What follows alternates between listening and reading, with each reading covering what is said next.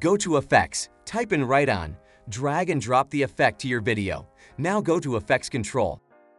Click on Write On. Now move the blue circle to your starting point. Move your playhead to the beginning of your video.